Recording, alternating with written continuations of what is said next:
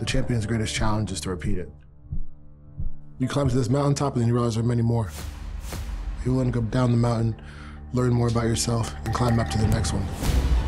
Oh! Oh, Oh, my goodness! Two-weight class world champion in less than a year. It's never been done before. Put the four-ounce gloves on, lock the cage. I have one job to do. To be the best, you have to beat the best of the best.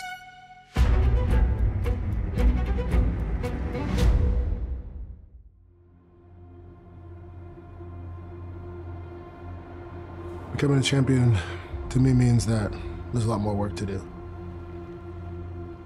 That I did something once, and being a champion is not something you just become once, it's who you are. To me, it's an affirmation of who I am and who I've always seen myself to be.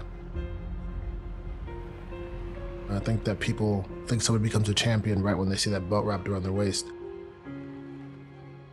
But for me, being a champion was when I stepped into this endeavor, when I chose this lifestyle to be a warrior. Grab your first partner.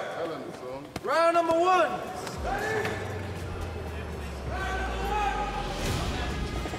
After the championship fight, I remember the second the fight was over, another man, I'm a world champion, world champion, great. That's awesome. I was like, man, I gotta get back to the gym. That was the first thought that was in my mind. I was thinking about like, what can I do to get better? That wasn't even all that I can be or all that I will be. I watched your fight yesterday. I used to watch it back, and I was always like, "What? What did I do?" Yeah, I, was I thought we were landing. The footwork. I knew there's something more, and I have to keep digging for it. I think people put too much emphasis on a weight class, whether it's 170 or heavyweight. Like it doesn't matter. Like I'm disciplined. I'm a warrior. It's like I'm here to fight. Here at the gym, we train with everybody. Whether if you're 55 or 45 or you train with the heavyweight, you gotta learn how to move. So it doesn't matter to me. It's like put me in a fight. Once I, you lock those cage doors, claim the victory, and move forward. The champion's greatest challenge is to repeat it. You climb to this mountaintop and then you realize there are many more. Right? Like, what do you want to do? You want to go back down the mountain, learn more about yourself, and climb up to the next one. I always know that I can be better and that I will be better. And I know that who I was four years ago, who I was last year, who I'll be in four years, who I'll be tomorrow, be so much better. So even in that moment, that was the best that day. But at the same time, too, I know that I can still refine and pick it apart, and there's still opportunity to be better.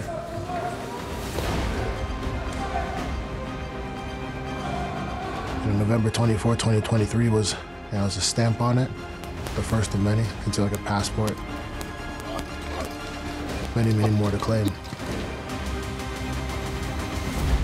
Go conquer them all.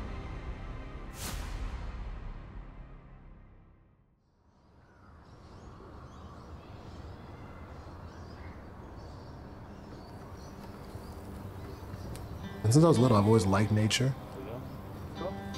And I always had this goal in my life that I want to hunt, grow, and cultivate everything that I eat. My grandpa being back in Congo, he hunted for sure, and you know, pretty cool. Anything like that could be out in nature, he loved doing. I always felt like connected with them that way. And I always asked my dad, I want to go out in nature. And when we lived in Okeechobee, I love being outside. Cows are my favorite animals.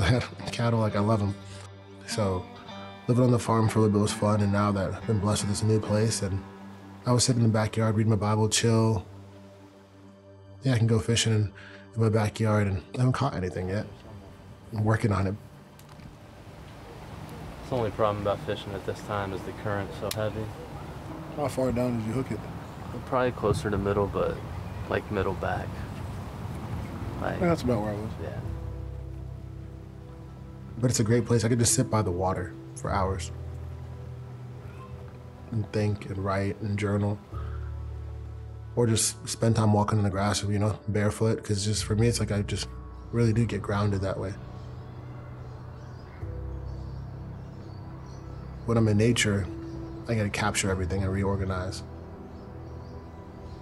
Just the way the river flows, high tide, low tide, what animals come at what time. I don't know if it's mentally, subconsciously, spiritually, but you see the order of nature, then you can put like a lot of things in your life in order to.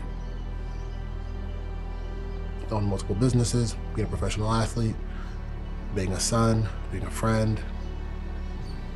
I think that sometimes as a fighter, you get all this attention, everything's about you, all the questions are about you. That's cool. But I sometimes I can just like be in the middle of nowhere and just find that peaceful space.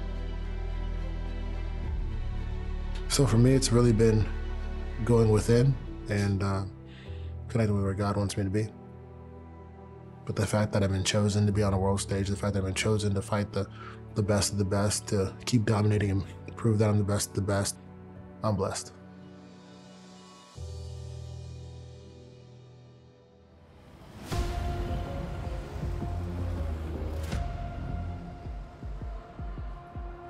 It's Riyadh season, PFL champs versus Bellator. Who's ready for the greatest pay-per-view and first pay-per-view in the history of Saudi Arabia? Let's go. PFL Bellator acquisition is pretty cool. They brought former and current champions together, a whole card full of champions, and everybody gets to go at it. That's what movies are made of. It's the first time something's happening in history. And that's the only record that can't be broken. So many other records can be broken, but being the first one can't be. And that's what, you know, LeBron James said. And I thought that was pretty cool.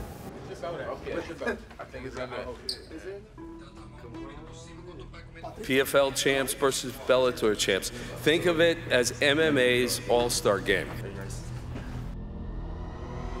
This will be the first of many major pay-per-view events with the top talent in the world. Champs versus champs. To be a part of that to me is pretty cool because it's the work at the right time. The Lord made it happen. You never went through what you went through if you never won when you won, went through the challenging moments. It all timed out for a certain reason. Well, I remember being the first fighter on a card. Actually, last year, PFL.